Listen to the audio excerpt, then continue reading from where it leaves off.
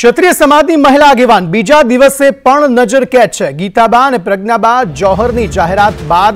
નજર કેદ કરાયા છે આજે બીજો દિવસ છે તેમની નજર કેદનો આગેવાનો એ સમજાવ્યા બાદ પણ જોહર માદેદેવ અડત છે ગઈ કાલે ગીતાબાએ આત્મહત્યાનો પ્રયાસ પણ કર્યો હતો ત્યારે બીજા દિવસ સે પોલીસ બંદોબસ્ત સાથે તેમને નજર કેદ કરવામાં આવ્યા છે રૂપાલાની ઉમેદવારી રદ કરવાની માંગ સાથે વિરોધ યથાવત જોવા મળી રહ્યો છે છત્રાણીઓ હાલ પોતાના એ નિર્ણય પર અડક છે કે તેઓ જોહર કરશે જ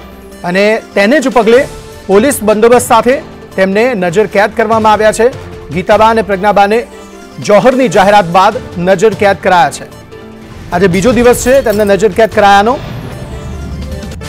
જે ક્ષત્રિય સમાજના આગેવાનો છે તેમણે પણ ગઈકાલે મળવા નોતા દેવાયા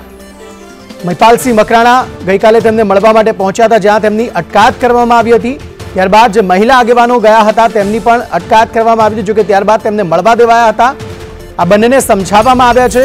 સમાજ દ્વારા અને તંત્ર દ્વારા પણ કે આ નિર્ણય તે માંડી વાળે અથવા તો પોતાનો જે નિર્ણય છે તે પરત લઈ લે પરંતુ આ બંને જે શત્રાણીઓ છે તે રોષિત છે અને પોતાના નિર્ણય પર અડગ છે તે સમાજની મહિલાઓ એ જોર કરવાની ચીમકી છે તે ઉચ્ચારવામાં આવી હતી ને ગીતાબા પરમાર પ્રગણાબા ઝાલા જે છે તેમના દ્વારા આ જોરની ચીમકી ઉચ્ચારવામાં આવી હતી ને ત્યારથી તેમણે નજર કેદ છે તે કરવામાં આવ્યા છે ને જે મકાન દેખાય રહ્યું છે તે પ્રગણાબા ઝાલાનું છે ને તેમને તેમનો નિવાસસ્થાન ખાતે જે પોલીસ દ્વારા નજર કેદ છે તે કરવામાં આવ્યા છે ને પોલીસ દ્વારા અહીં શુસ્ત બંદોબસ્ત છે તે રાખવામાં આવ્યો છે પીઆઈ સહિતનો સ્ટાફ જે છે તે અહીં હાજર છે જેથી કરી અને તે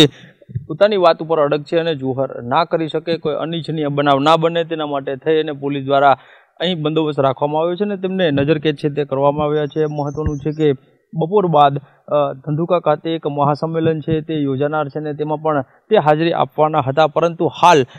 પ્રજ્ઞાબા ઝાલા જે છે તેને અહીં પોતાના નિવાસસ્થાન ખાતે નજર કેદમાં રાખવામાં આવ્યા છે કેમેરામેન મેહુલ પટેલ સાથે કશ્યપ જોશી સંદેશ ન્યૂઝ અમદાવાદ